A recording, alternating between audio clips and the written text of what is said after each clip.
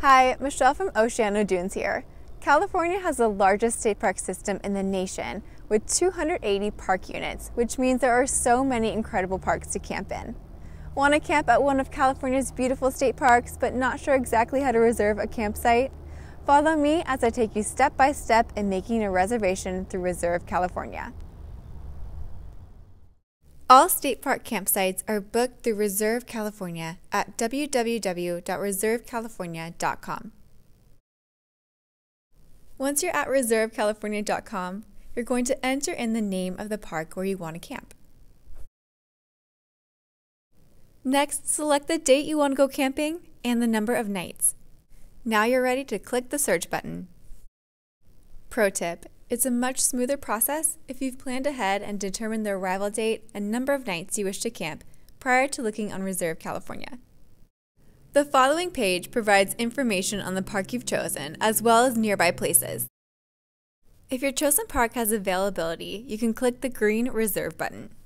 At this point, you can see both red and green sites.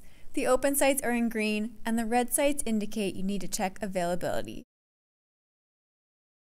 Choose an open site and then click Reserve Unit.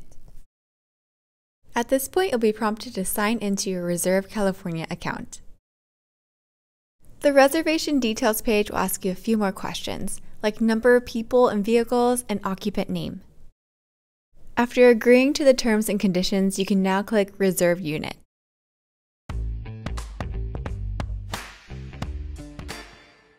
Have your ID and reservation confirmation ready to be shown to the park aide at the entrance kiosk upon arrival at the campground. Reservations can be made six months in advance. Keep in mind check in and check out times. Here at Pismo State Beach, check out is noon and check in is 2 p.m. And make sure your name is on the reservation. Reservations will only be accepted for the name the reservation is made under. We hope you have a wonderful visit to your California state parks and be sure to leave it better than you found it by disposing of trash properly and practicing safe wildlife viewing etiquette.